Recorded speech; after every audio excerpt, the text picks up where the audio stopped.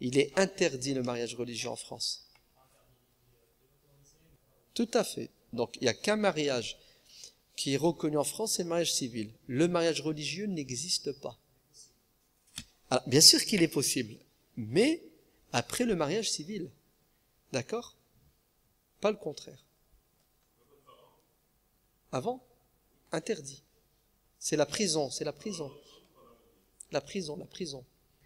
Ouais. Bah, t'as intérêt de la, de la respecter, la loi d'ici. Non, non. La loi de Dieu, tu sais c'est quoi la loi de Dieu?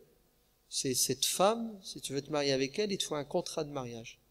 Quand tu ramènes un imam à la maison, il te marie soi-disant, il t'a, t'a pas marié, mon frère.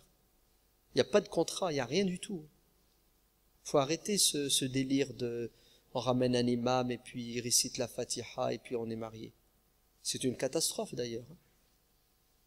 Et tu, et, tu mets ta fille en danger. Hein. Tu sais que ça veut rien dire tout ça. Hein. Halal, fatiha. En islam, le mariage, c'est un contrat. C'est un contrat. Ok?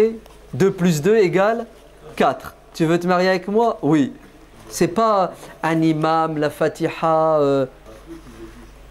Ouais, il y en a peu qui le disent. c'est rien, je vais te le dire alors. D'accord? Donc, dépêche-toi, va vite à la mairie, fais ton contrat de mariage. Comme ça, ça sera ta femme à 100%.